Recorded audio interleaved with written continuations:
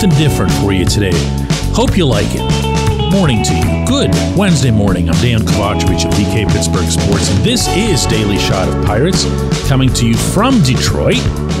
Comes your way bright and early every weekday if you're into football and or hockey. I also offer daily shots of Steelers and Penguins in the same place that you found this. The Pirates and Tigers were rained out here last night that game will be made up as part of a double header today at Comerica Park. That begins at 12:40 p.m. It's going to be a true doubleheader, old school doubleheader, nine inning ball. And the pitchers will remain as had been planned for this series. Jared Jones in game 1, Paul Skenes in game 2. A fun thing unto itself. I had the opportunity yesterday before what was supposed to be game one, just the general availability, about an hour and change uh, in the Pirates clubhouse, in the Pirates dugout, to just talk, you know, to just converse loosely with Skenes. It feels like ever since we had one such talk back in the spring, this was in Sarasota, Florida, after one of his outings, that every time he became available, and this is not even remotely a criticism of him, this is just what the demand is on him, that there was this crush of humanity surrounding him. Cameras and microphones everywhere, people I didn't recognize at all. So, what I would do is I would just kind of bide my time and say, listen, eventually this is going to subside into something that resembles normalcy. And, and here we are. At this extremely early stage of his big league career, he's already had his first start at home, his first start on the road, his first time he struck out the first seven batters he faced as he did to the Cubs. And for sure, there will be other firsts along the way, but a lot of that stuff has kind of gotten checked off over the past couple weeks. And here he was yesterday before the game, just kind of chilling. And I, I wanted to share some of these observations with you because all you see of him is, you know, him going to the mound and this larger than life physically and otherwise figure. And you're getting all stoked for all the strikeouts and you're putting in your head all kinds of comparison points to truly great pitchers from the past. And he's also, you know, just a kid. And yet he isn't. When he came out from the dugout tunnel into the dugout to prepare for loosely can be described as warm ups. For the guy who's pitching the next day, they're not really anything. You're just looking for ways to creatively kill the clock. And he came out and he notices a group of the Latin American guys having their own conversation. Uh, Oneil Cruz is there, Edward Olivares, Jose Hernandez. Uh, Mendy Lopez, the coach and former infielder for the Pirates, is kind of the ringleader in the moment. And Skenes just kind of walks through there with them and gives each of them a fist bump. He knows that not all of them have the greatest grasp of English, and he told me himself he doesn't have that much of a grasp of Spanish, though he'd like to learn it. But he still finds his way through there and bump, bump, bump, bump, bump down the line. And they all kind of smile back and bump back and whatever. And this is not something that I've seen in this is my now 20th year of covering Major League Baseball a lot from rookies. They'll stay with their own. They'll respect the space that the Latin American players have and and maybe tiptoe in that direction when it's time. That's not what Skenes did. That's not what I saw. He just walked right through there. They're his teammates. He's their teammate. And I asked him about that.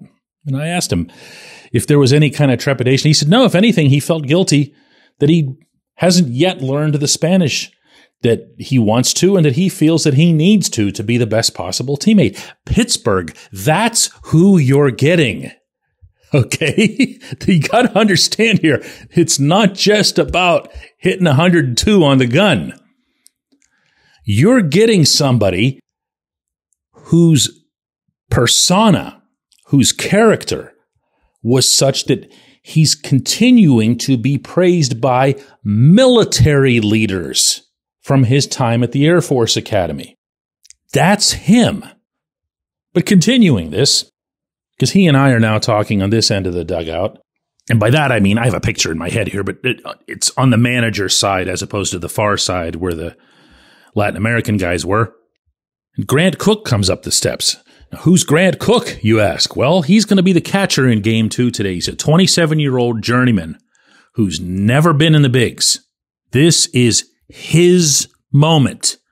I don't know if it's his Drew Maggi moment. I mean, Maggi came up a lot later in life than 27 years old, but you never know when you're going to get a chance or when the chance has already passed you.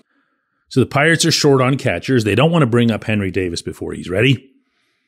And Koch is here, and Koch has caught Skenes. and Skenes praised him up, down, and sideways in terms of his receiving ability, in terms of his game calling ability.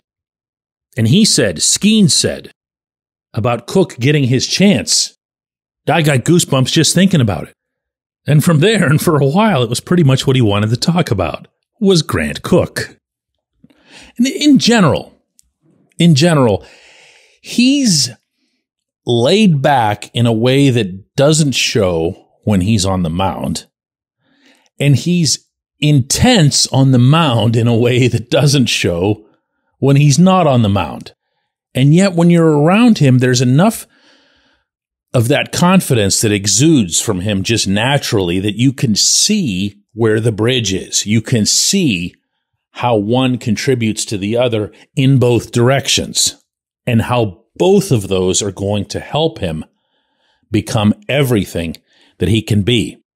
One thing that I, I did ask him with the recorder on was if, if he felt that things were just beginning to get normal in his baseball world now. Yeah, no, I mean, really, the, the only thing that's new, I think, is traveling to these new places. Um, the, the game doesn't change. It's just us as, as players, whether we change it ourselves. So um, it's just baseball. Could be a lot worse. We could be doing doing worse things. Yeah, yeah. Ordinary stuff there, right? Yep. That is an extraordinary individual. When we come back, J1Q.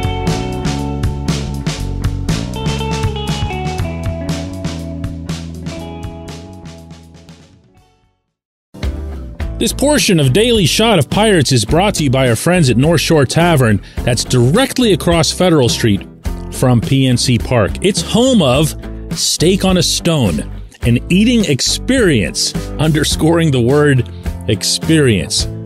The steak is brought to you partially cooked on an 800 degree stone, and you do the rest. It's a ton of fun, it's a great meal, and it's a baseball atmosphere like no other in Pittsburgh. North Shore Tavern, right across Federal Street from PNC Park.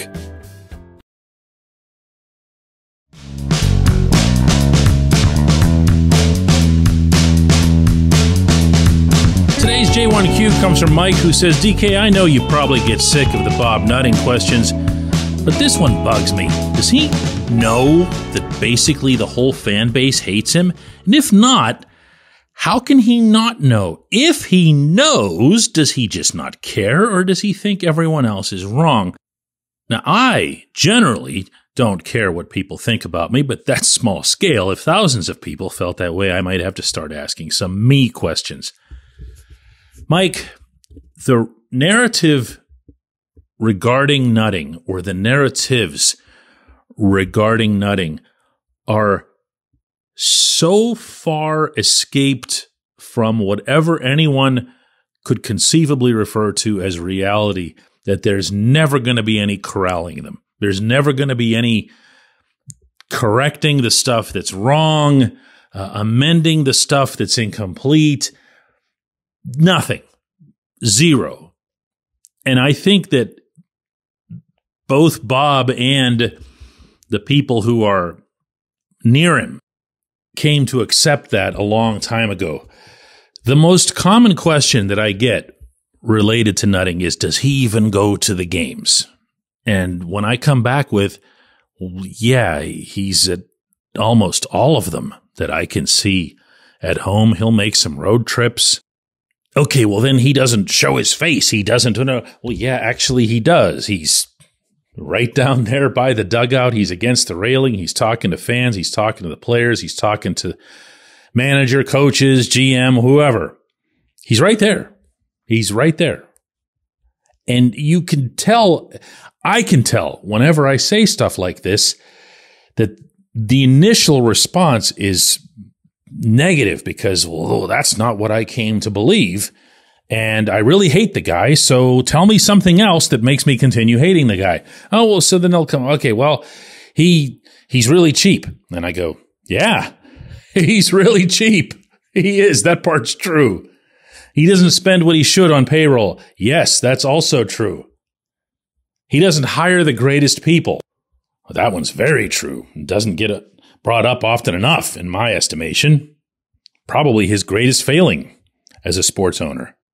But all of those things never seem to be enough. Everybody wants him to be, you know, Mr. Burns from The Simpsons plus a combination therein of Howard Hughes, where he's a recluse living in his mansion, the evil thunderstruck hills of West Virginia.